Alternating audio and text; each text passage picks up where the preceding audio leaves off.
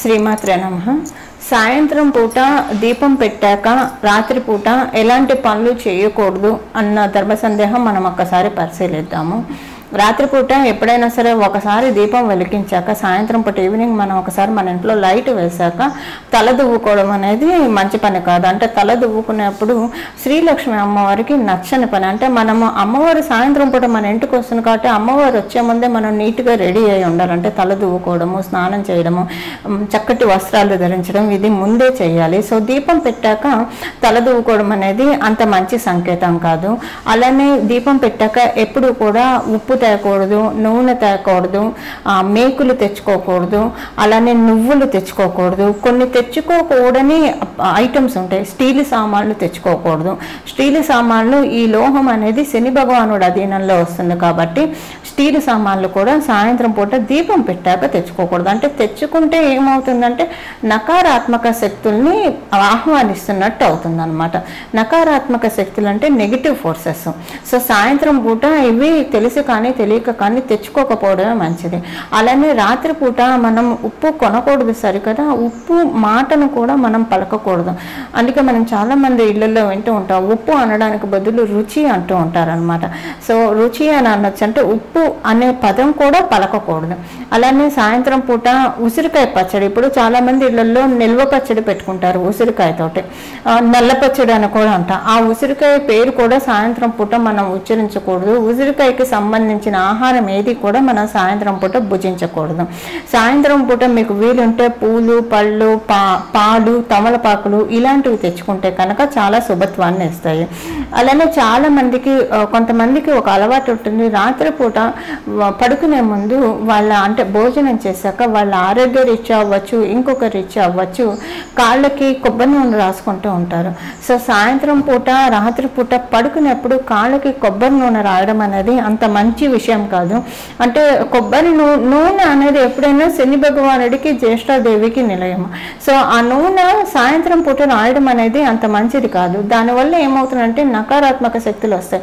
మీ కాళ్ళు లాగుతూ ఉన్నప్పుడు ఏదైనా నెయ్యి రాసుకోవచ్చు. అంటే ఇప్పుడు మన అన్నంలోకి నెయ్యి కలుపుకొని తింటూ ఉంటాం.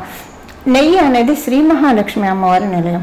సో మీరు అంటే కాళ్ళు బాగా లాగుతున్నప్పుడు అప్పుడు నూనె బదులు నెయ్యి రాసుకోవడం చాలా మంచిది. ఇది రాసుకోవడం వల్ల దోషం అనేది అప్లికేబుల్ అవ్వదు మీకు మంచి నిద్ర కూడా పడుతున్నాయి రాత్రిపూట చాలామందికి పాలు తాగే అలవాటు ఉంటుంది. కొంచెం గోరువెచ్చటి పాలు అది చాలా మంచిది. రాత్రిపూట పాలు తాగితే చాలా మంచిది. ప్రత్యేకించి ధనం కోసం ఎవరైతే ఎదురు చూస్తూ ఉంటారో వారు రాత్రిపూట పడుకునేప్పుడు కొంచెం గోరువెచ్చటి పాలల్లో ఒక్క రబ్బ కుంకుమ పువ్వు వేసుకొని కలిపి అది కరిగేదాకా ఉంచి కలిపి ఆ పాలు తీసుకోవడం వల్ల ధనపర ధనపరమైన ఆర్థిక పరంగా ఆర్థిక పుష్టిని ఇస్తుంది. ఎప్పుడైనా సరే కుంకుమ పువ్వు అనేది శుక్ర భగవానుడు అధీనంలో ఉంటుంది. సో సాయంత్రం పూట కుంకుమ పువ్వు వేసుకొని తాగడం వల్ల రాత్రి పడుకునేప్పుడు చాలా ఆర్థిక పుష్టి అనేది చేకూరుతుంది. అలానే రాత్రి సాయం సంధ్యావేళ అంటే రాత్రిపూట పూట తినడం వేరు. సాయం సంధ్యావేళ దీపం పెట్టాక ప్రదోష కాలం అని చెప్తాం. ఆరింటి నుంచి ఏడింటి లోపల ఇంట్లో ఏ విధంగా అంటే స్నాక్స్ అనేవి తినడం మంచిది కాదు. శ్రీ మహాలక్ష్మి అమ్మవారు వచ్చే సమయం కాబట్టి ఆ సమయంలో మనము ఇంటిని శుభ్రంగా ఉంచుకోవాలి.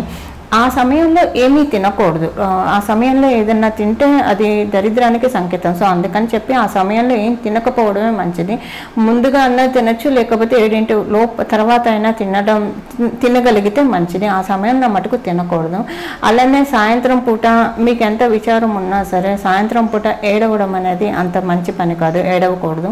అండ్ ఇంకోటి ఏంటంటే సాయంత్రం పూట అంటే చాలామంది తులసి దళాలని తెంచి తులసి మాల కట్టి మరుసటి రోజు భగవంతుడి ప్రతిమలకి వేస్తూ ఉంటారు.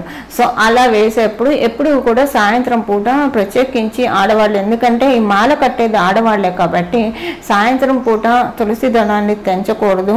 సాయంత్రం పూట తులసి దళం తెంచిన దళాలు అయినా ఇప్పుడు మనకి మార్కెట్లో దొరుకుతూ ఉంటాయి. తులసి దళాలు అమ్ముతూ ఉంటారు. అవి తెచ్చి సాయంత్రం పూట కట్టడం కూడా అంత మంచి విషయం కాదు. సాయంత్రం పూట తులసిని ఆడవాళ్ళు ముట్టుకోకూడదు. తులసి అమ్మవారు పవిత్రరాలు. సో సాయంత్రం పూట వరకు మటుకు ముట్టుకోకూడదు. మీరు మాలగా కట్టి వేయాలంటే మరుసటి రోజు ఉదయాన్నే కట్టి వేయచ్చు బట్ సాయంత్రం పూట కట్టకూడదు.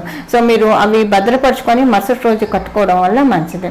ఇలాంటి చిన్న చిన్న విషయాలు మనం ఆచరించడం వల్ల నకారాత్మక శక్తుల్ని చక్కగా బయటికి తరిమివేసి ఆమడు దూరం తర తరిమివేసి సకారాత్మక శక్తులు అంటే సానుకూల శక్తుల్ని మన ఇంట్లో ప్రతిష్ఠింప చేసుకోవడానికి అవకాశాలు చక్కగా సిద్ధిస్తాయి.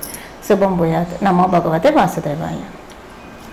ఆచారాలు సాంప్రదాయాలు పూజలు వ్రతాలు సమగ్ర భక్తి సమాచారం కొరకు సబ్స్క్రైబ్ చేసుకోండి మన దైవం ఛానల్.